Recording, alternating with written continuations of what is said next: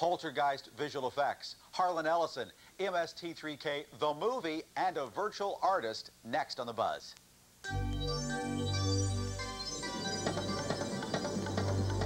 They may have pulled the plug on the TV series, but Mystery Science Theater 3000, the movie, has arrived. Breaking the boundaries of traditional art with virtual art. It's Back to the Future with Rocky Jones Space Ranger. Harlan Ellison thinks the names of award winners should not be kept secret. And creating the gruesome ghost for the new TV series, Poltergeist, The Legacy.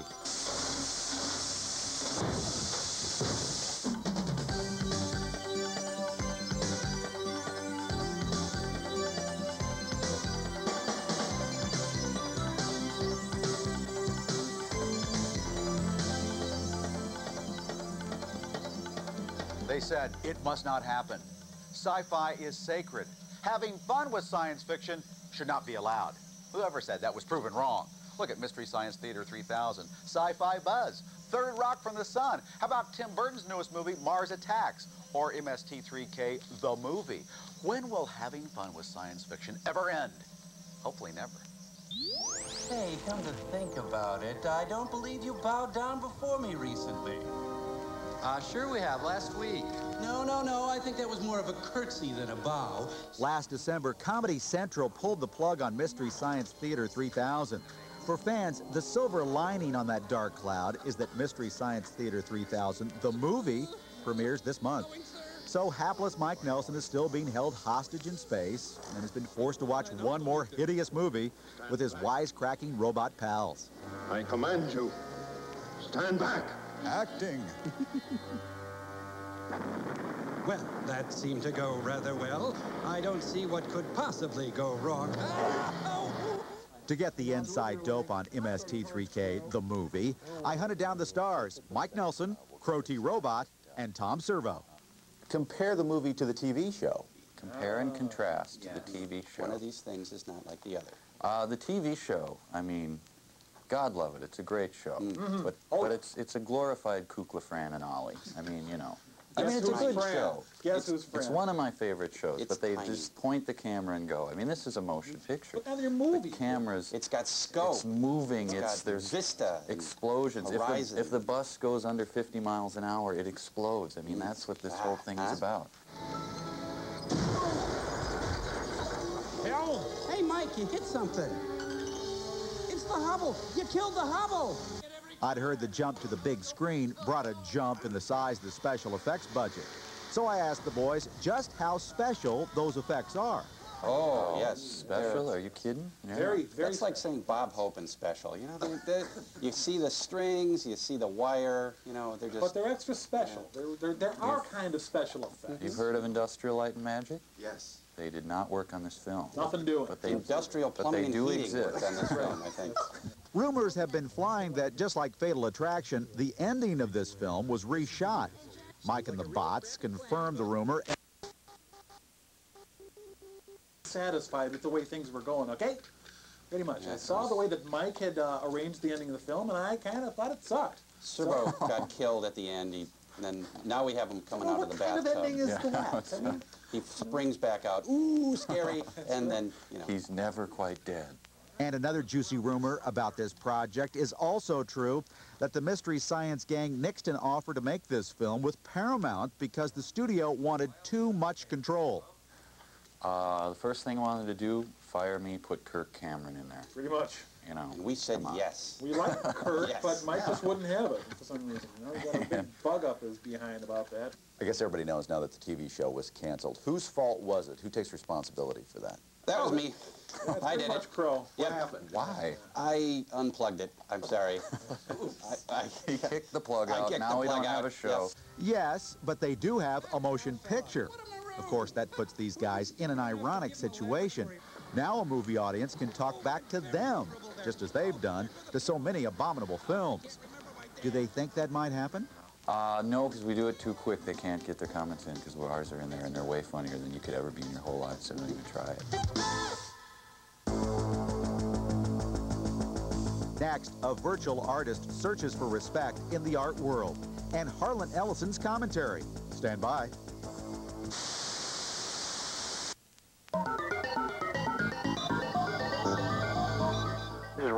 Ocean Township, New Jersey, and I'm calling to recommend a great new comic magazine called Conan the Savage. It's about uh, everyone's favorite barbarian hero. It is uh, the new reworked version of uh, the old Conan, Savage Sword of Conan magazine. And uh, beautiful artwork, excellent storylines, and uh, it's fun for pretty much all ages. We want you to be a part of this show. Simply done. Harlan Ellison. You know, every week I come out here.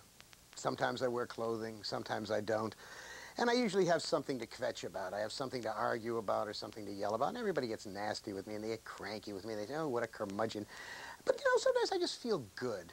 And I don't really want to bash anybody. I don't want to diss anybody. I don't want to, like, you know, pretend to be Bob Dole holding onto his pen. I, I, I want to be a nice guy, but I can't because the world is so filled with doofuses and gazoonies that it's very difficult. Let me give you, for instance, every year, at every convention where they give an award, whether it's the HWA, the Horror Writers Association can, uh, a banquet, where they where they give out the uh, uh, the Usher houses, which we call the Bram Stoker Awards, or it's the World Science Fiction Convention where they give out the uh, uh, the, the Oscar of the SF world, which is which is called the Hugo, or SFFWA where they give out the Nebula Awards. They all maintain secrecy. World Fantasy Convention maintains secrecy. You cannot find out who won any of the categories. And that means that often there's nobody there to accept the awards. For instance, look, see back here? See right behind me there? That is a painting by Jacek Yerka. I did this book, Mindfields, with the paintings of Jacek Yerka. Jacek Yerka lives in Poland, and he won the World Fantasy Award for the most outstanding artist. Did they tell anyone? No! So Jacek was not there, nor was his publisher, Jim Cowan of Morpheus, nor was anyone else there who could accept this and say a few words on his behalf. No one bothered to get in touch with Jacek and say, hey, you've won. The man's in, you get it, Poland. We're talking here Poland. Nobody bothered to tell him. They play this stuff with such incredible, vainglorious hubris, like these itty-bitty, pishy little awards were the Oscars. Like somebody really gives a hoot, like someone is going to be very upset if the winners are revealed ahead of time. Please, folks, this is all ego. It is silliness. It's the maintaining of a, of, of a secrecy, which is idiocy. If the people have won, let them know. Let them attend if they want to so they can be there to pick up the award. People say, well, if we see them in the audience, we'll know they won. So what? So what if you know they won? What's the big damn deal? And this goes on and on. Every year, this, this ridiculous amateurism in which people who give out awards think that their awards are the end-all and the be-all, that you must climb the northern face of Annapurna to get the damn award. No, all you have to do is go someplace like Eugene, Oregon, or to New Orleans and be there, which would be very nice for the people who've paid all that money and gone to the convention and have gone to this big banquet and paid all the money to see the awards won. So please, would you mind knock off this secret ballot crap, you know. I mean, once they've won, they've won. Send out the word. Let them know. Tell them, look, keep it to yourself. If we'd like, you know, we'd like to be a surprise. That's fine. But tell the people so they can get their awards. Huh? Now, you see, I didn't want to have to get uh, mean with you. I didn't. I don't want to say anything bad to you. But you people just won't leave me alone. You won't act like adults. What am I to do? Now, Susan, when you say that Jennifer Steinkamp is a virtual artist, you're shortchanging her. It sounds like she's not really an artist. Right. She's not virtually an artist. She is a virtual artist, meaning her work draws you into this immersive experience. Oh. 3D animation, it's incredible So you're talking stuff. about CG systems that visual effects houses use. It's like uh, Silicon Graphics. It's, that's what I said. Jennifer Steinkamp is a faculty member in the computer graphics department at the Art Center College of Design located in Pasadena, California.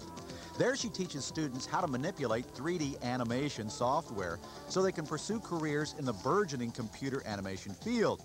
But her spare moments are spent creating abstract 3D images for her other career as a virtual artist. I've always had it in the back of my mind to to use computer animation in art, fine art, and it did take a while to kind of establish that.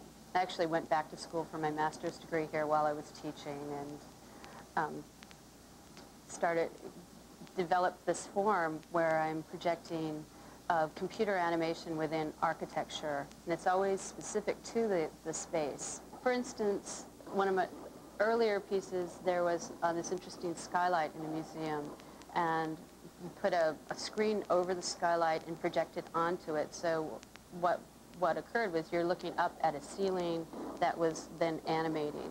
This, or this abstract, uh, it was actually sort of a Rorschach effect. Steinkamp counts the late artist Jackson Pollock as a huge influence because of the illusion of movement in his paintings. But unlike traditional two-dimensional artwork, virtual art offers viewers a truly immersive experience. One thing that I like people to realize is that they can interact with it or they can play in the piece. And a lot of times people don't do that, and it's, it's frustrating. Little kids know instantly. They'll run in there, even dogs know. They'll run in there and play with their shadows. And, you know, um, sometimes what will happen, because there will be double projectors overlapping on each other, your, your shadow will become integrated into the piece. Steinkamp's work is exhibited at museums and art galleries around the country. And while it's still considered a relatively experimental art form, interest is growing. One recent Steinkamp display created a stir when several patrons admitted that viewing the piece made them feel seasick. Yeah, well, it was great to get a physical response out of something that's not physical, um, being light projected onto a floor. And what happened was the, the architecture of the space or the floor becomes dematerialized as the light kind of takes over and, and creates its own dimension. And so as people watched this floor kind of undulating in and out, they, you know, felt sick, I guess. I, I never had that experience. In fact, I never experienced my work the same way other people do, which is sort of disappointing. Maybe someday I will, I guess. Steinkamp creates her virtual art on a computer, but it's actually exhibited by Laserdisc on a video projector. Now her mind is bubbling with ideas for interactive pieces that would utilize computers as part of the display process. There's a piece I'm working on right now that, um, based on how many people are in the room, the, the animation will respond differently. So maybe when there's one person in the room, um, the piece will sort of devour them or, I suppose, suck in. Uh, if there's many people in the room, I was thinking maybe it would spin around. I, you know, it's, it's work in progress, though. It could go any direction right now. Whatever direction Steinkamp chooses to take, it's safe to assume it'll be far from conventional.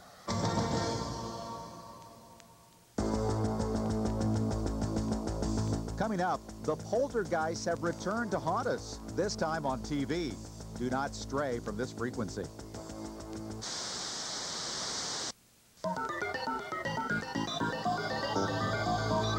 This is Jeffrey Middleton from Morehead, Kentucky, and I want to tell you about Ripper from Take-Two Interactive. This new game concerns the return of Jack the Ripper in the 21st century. You, as a private investigator, must find out how he has come back and must stop him before he gets his next victim, you. This brand new six CD horror features Christopher Walken, Karen Allen, and Burgess Meredith and the rest of an all-star cast as you try and find out why Jack the Ripper has returned.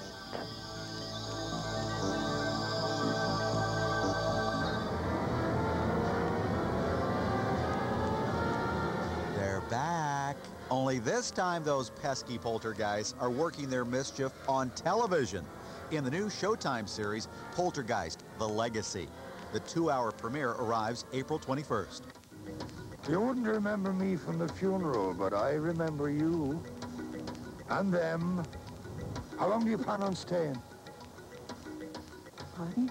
The show's title will lead many into thinking that Poltergeist, The Legacy, is a spin-off of the 1980s movie trilogy. But series creator Richard Lewis says he shot down that idea when MGM first approached him about doing the show. You see, MGM owns the films and wanted to exploit the title on the small screen. When we were asked to do Poltergeist, I said, well, how do you do this as a series? Every week, JoBeth Williams and Craig T. Nelson move into another house, and really bad things happen.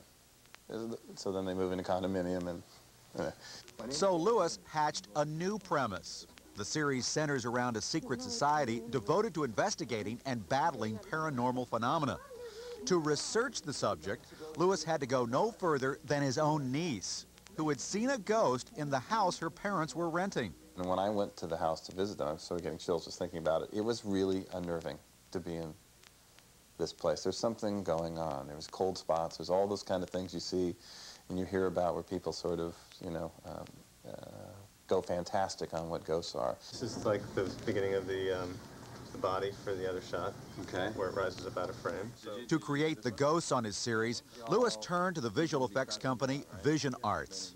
For the premiere episode, Vision Arts unleashed a nasty bunch of computer-generated poltergeists that resemble human skeletons. They've come up with something here at this group uh, we call Skeleton Man, who is the demon. Uh, because to me, I've I've seen Casper, I've seen uh, uh, Lucas and Spielberg on Raiders did an incredible thing with the ghost flying around.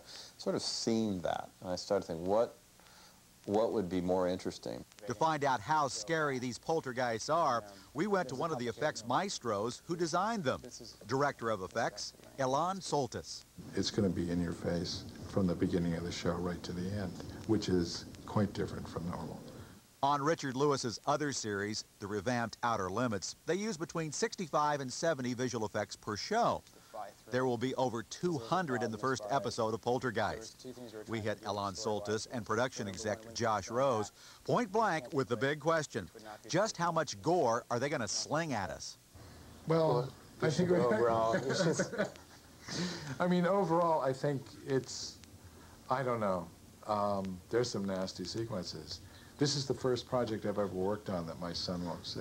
The birth sequence is um, is pretty insane and my employees that have, have put it up and have watched it while we're working on shots around it have been, people don't know what to expect. And when they walk out of the room, everybody has the same look on their face. And I think the viewers are going to feel that.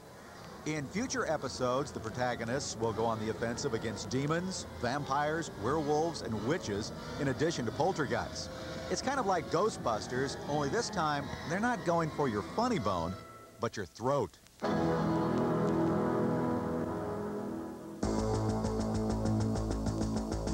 The World of Tomorrow, 1950s style, on Rocky Jones Space Ranger. Wait one for retro. This is Rocky Jones in the Space Ranger ship Orbit Jet, two officials. Rocky Jones. The 1950s was the heyday of TV space operas. The earliest of them were produced live and as a result were technically limited.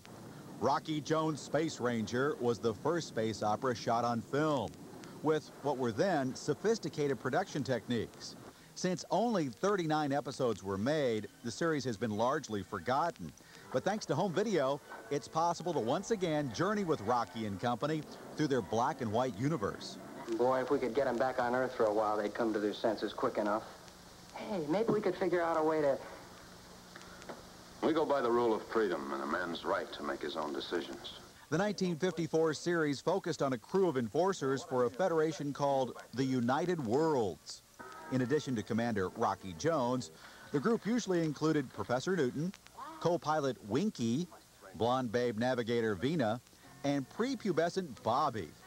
The steel-jawed hero, Rocky, was an explorer, soldier, diplomat, and a bit of a chauvinist.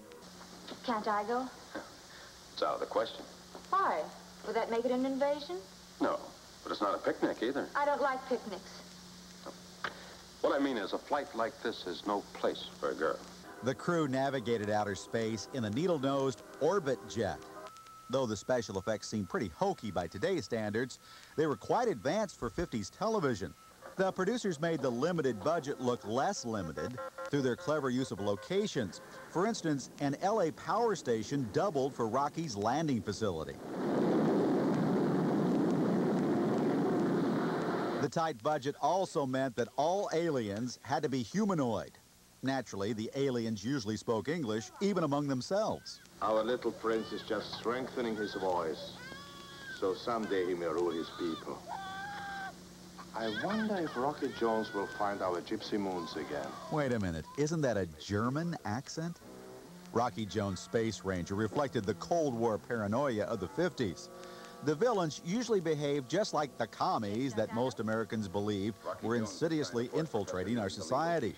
For example, the Ophesians used brainwashing to turn the good guys into emotionless robots, just as it was thought the Reds were doing.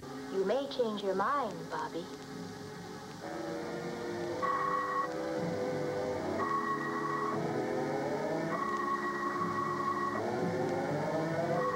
Rocky Jones Space Ranger bit the dust because at 25 grand per episode, it didn't turn a profit. Fortunately, it has survived the ravages of time to remind us what the future looked like 40 years ago. I don't believe it. I just don't believe it. Dave, you gonna be all right? No. Poor brave Dave here. He's so upset. He just got the news that Han Solo doesn't remember any Wookiee. You see, recently, Harrison Ford was named Man of the Year by the Harvard uh, University Hasty Pudding Theatricals. And at the ceremony, when they gave him the award, somebody asked him to translate Chewbacca's, you know, grunts and groans. And Harrison Ford said, I can't do it. I mean, I don't remember the language. I don't remember the language, is what he said. And Chewbacca, of course, is Dave's favorite character on Star Wars. Oh, good, you're here. Our sci-fi buzz psychologist has arrived. We have to take a break now. We'll see you next week.